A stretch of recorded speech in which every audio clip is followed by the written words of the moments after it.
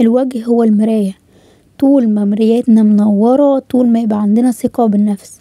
لو المراية بتاعتنا بهتانة دايما بيحسسك بإن انتي عندك عدم ثقة بالنفس مش فرحانة مش مش بتبقي مبسوطة وانتي بتتصوري. عشان كدا كلنا بلا استثناء خصوصا كسيدات بنهتم جدا جدا جدا بالمراية بتاعتنا ووشنا وعشان دايما لو داخلين على سن التلاتين خصوصا بنبقى عايزين نحارب التجاعيد.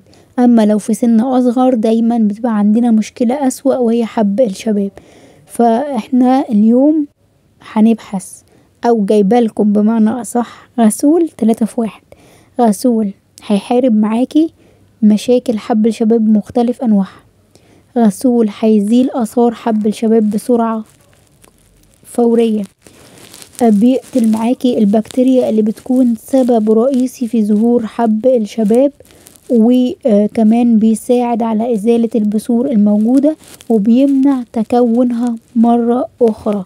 غسول رائع جدا جدا جدا بيناسب الكل بيمنع انسداد المسام نقدر نستخدمه بأمان وسهولة وطريقة استخدامه سهلة وبسيطة.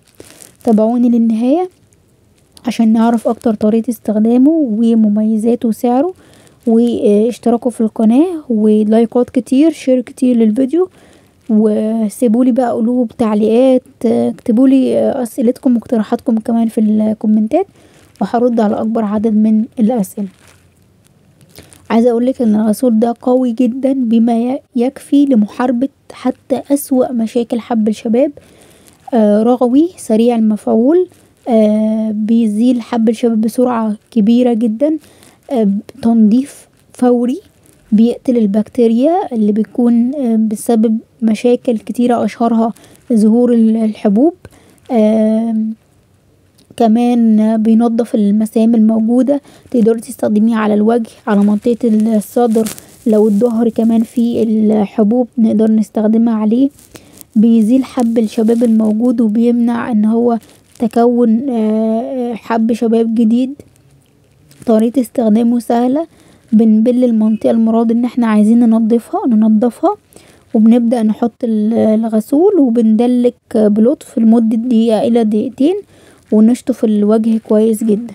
بعدها بنبدأ في تجفيف تجفيف الوجه عن طريق الطبطبة وعشان ميسببلكيش أي جفاف ففي بداية الاستخدام بنستخدمه مرة واحدة بس يوميا وبعد كدا ممكن نزوده بشكل تدريجي. أهم برضو حاجة إن إحنا نهتم بخطوة الترطيب سواء استخدمنا الغسول ده أو استخدمنا أي نوع غسول تاني. حتى لو استخدمنا صابون الترطيب هو أهم خطوة عشان نحارب دايما ظهور التجاعيد والخطوط الرفيعة اللي تبقى موجودة في الوجه. ومننساش كمان حبايب قلبي طبعا خطوة الغسول يعني نحاول نعملها خصوصا لو إحنا بعد يوم طويل معرضين لأتربة نحاول نستخدم الغسول أول ما نروح غسول بنكوسيل خصوصا لحب الشباب هيبقى مناسب جدا. ومننساش قبل الخروج من المنزل بحوالي نص ساعة نحط صن بلوك أو واقي لإشعة الشمس عشان يحمينا من أضرار الاشعة الفوق بنفسجية. وفي نهاية حلقة اليوم يارب دايما أكون عند حسن ظنكم.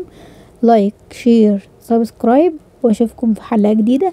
متنسوش كمان الفيديوهات القديمة تقدروا تتفرجوا عليها لأنها ظاهرة على الشاشة دلوقتي مفيدة جدا وهتعجبكم. أشوفكم في حلقة جديدة.